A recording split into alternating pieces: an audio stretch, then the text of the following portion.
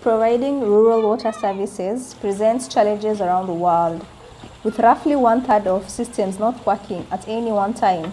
In Kwale County, southeastern Kenya, most of the rural population rely on 300 functioning hand pumps for their daily water supply.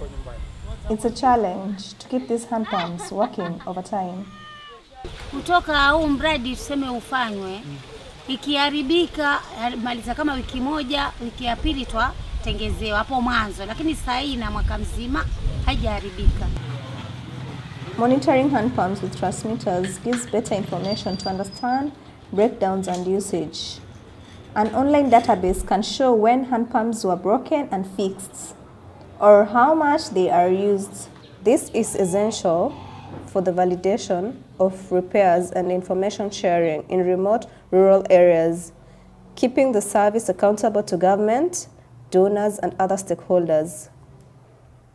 Fundi Fix Kwale Limited is a maintenance service provider offering a professional service linked to performance-based contract with each community. When a hand pump breaks down, community members call a hotline number. Local mechanics are notified and sent out to make the repair. Sasa twashukuru sana, manake likiharibika, mmetuletea simu ya kupiga ile simu, alafu nyewe wenyewe wanajua kama boli namba fulani limeharibika, alafu anatuletea fundi anakuja tengeza. Piloting the maintenance service has been successful in reducing breakdown times by an order of magnitude to less than two days. It has also created significant trust between the communities and the maintenance service provider.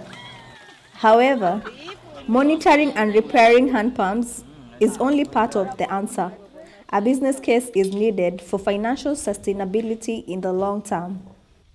Community payments per hand pumps are made regularly using mobile money, with confirmation of payments being sent to several community members for transparency. Pooling resources shares risk across the service area alongside user payments.